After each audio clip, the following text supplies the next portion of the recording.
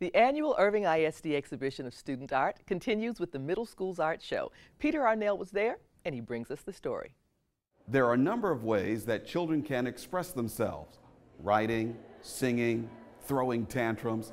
But there are a select number of middle school students who have found another way of expressing themselves through art. Some of their works are here on display at the Irving Art Center.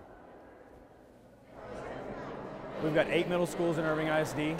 Uh, so each one probably brought around 100 or so pieces. So we're looking at about 800 to 1,000 works of art. With quite a few pieces of art to judge, how were those selected to make it to the show? Generally by the teachers, teachers and other staff members at the school. Uh, I, I, know myself, I sorted through all the projects that my kids had done all year, so I think I dug through about 2,000 works of art to, uh, to kind of whittle it down, kind of show the breadth of work that we do. Uh, you know, I think each teacher kind of tried to bring uh, a mixture of mediums and just kind of the strongest work from their students. I like how we can, I can express myself through art and we have, I can, I just be so creative with it. I like how you can like um, put all these colors, inspirations and everything, what you like in it. Well, I like expressing my feelings with the art because I, um, cause it actually is the only way I can write and, and draw everything uh, on my feelings I, I want to do.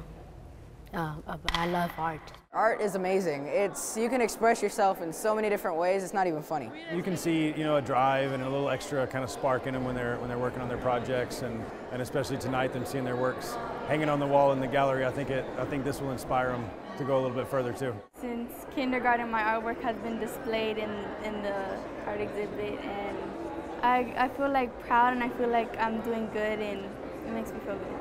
Most of the time when I have spare time, I do draw stuff like that because it's fun.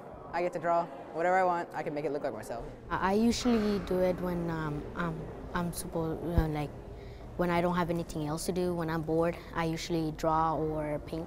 I like to draw a lot of how my feelings are each day. Like if I'm mad, I'll draw something mad, just putting which, whatever color in it. If I'm happy, I'll just draw something. I'll maybe try and recreate something that I did in art class or, you know, maybe try to see how I can make it better, make it my own. And then there are some who don't even know their talent. They need a push. They need a push. They're still pretty young, and so they need a push, and they, they come around in kind of their own time, and uh, and it's, it's fun to see them kind of finally get it every now and then and, and start to really enjoy it. It's inspiring, and it can like really help you have like creative ideas and inspire people to do what they want to draw that comes up in their imagination. It's always good to see how our children express themselves. And some of these children express themselves very well in art. At the Irving Art Center, I'm Peter Arnel. Up next, the high school's art exhibit running March 27th through 31st in the Irving Arts Center main gallery. Visit irvingisd.net and click the Fine Arts link for more information.